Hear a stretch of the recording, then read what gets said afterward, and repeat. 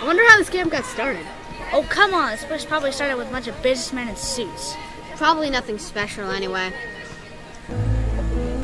Not quite. Do you want to know the real story? Do we ever? It all started hundreds of years ago. The very land the camp sits on was caught up in a dispute between two characters. The good guy, John Avery, owned the land, but there was someone who challenged his claim. His name was Rart Bathbone. And his evil band of mustached villains! Uh, that's not. Right. Evil band of mustached villains.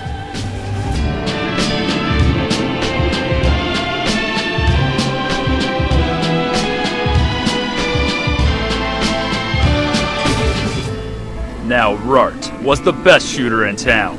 He could hit a target from 100 miles away. Now, John Avery wasn't the best gunslinger. But he had a rocket launcher and shot it at a tree, and the tree blew up. I'm not sure that's how.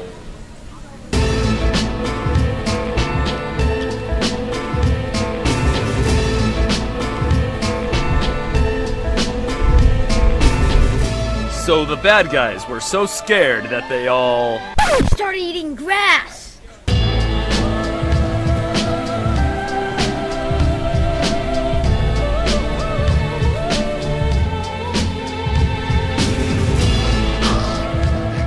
So after they were done eating grass. Aliens attacked. Now hold on a minute, whose story is this, anyways?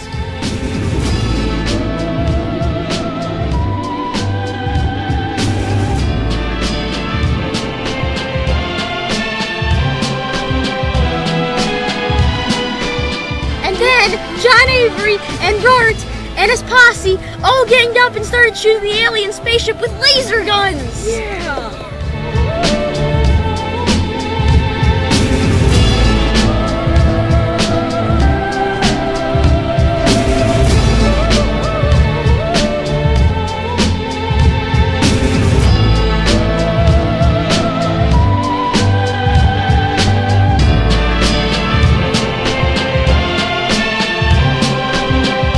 Then John Avery started a place where kids could come and hang out. And they called it Sandy Hill.